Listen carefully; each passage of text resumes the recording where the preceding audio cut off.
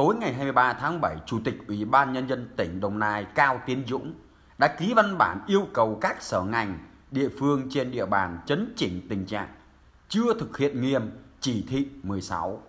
Những ngày qua, đồng thời giao công an tỉnh xử lý nghiêm các trường hợp vi phạm nếu đủ yếu tố hình sự cần xử lý ngay để bảo đảm sự nghiêm minh. Đấy các bạn và các anh chị nghe thấy không? Ở quê chúng ta là nhiều người anh chị là cứ chủ quan, lơi lơi là là là chết đấy. Nguy hiểm là vô cùng. Dịch bệnh thì đang rình mình. Ở nhà mà có công việc gì cần thiết gấp gáp lắm thì người ta mới ra ngoài. Còn bây giờ là tình hình rất là căng và phức tạp.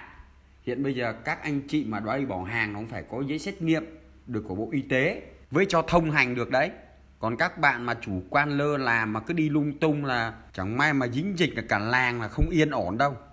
còn nếu mà cố tình mà vi phạm chỉ thị 16 á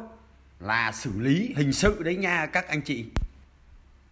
Cụ thể chủ tịch ủy ban nhân dân tỉnh Đồng Nai Cao Tiến Dũng cho rằng những ngày qua sau khi địa phương ban hành chỉ thị 15 thực hiện theo nguyên tắc chỉ thị 16 của Thủ tướng Chính phủ trên địa bàn vẫn còn tình trạng chưa thực hiện nghiêm giãn cách xã hội, chưa thực hiện yêu cầu 5K, nhất là tụ tập đông người và khử khuẩn.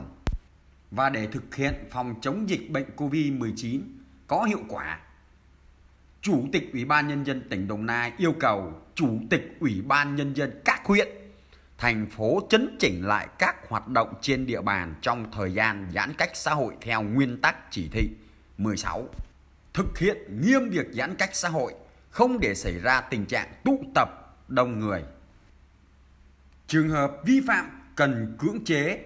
xử lý nghiêm người đứng đầu chính quyền các địa phương chịu trách nhiệm nếu để xảy ra tình trạng chủ quan, thiếu trách nhiệm trong công tác phòng chống dịch COVID-19. Chủ tịch Ủy ban Nhân dân tỉnh Đồng Nai giao Công an tỉnh chủ trì phối hợp các đơn vị địa phương tăng cường tuần tra, xử lý nghiêm các trường hợp vi phạm việc thực hiện giãn cách xã hội đối với cá nhân cố tình vi phạm đủ yếu tố cấu thành vi phạm hình sự cần xử lý ngay để bảo đảm sự nghiêm minh. Lãnh đạo tỉnh Đồng Nai giao Sở Công Thương tiếp tục hướng dẫn cung cấp đầy đủ lương thực, thực phẩm và các nhu yếu phẩm thiết yếu cho người dân.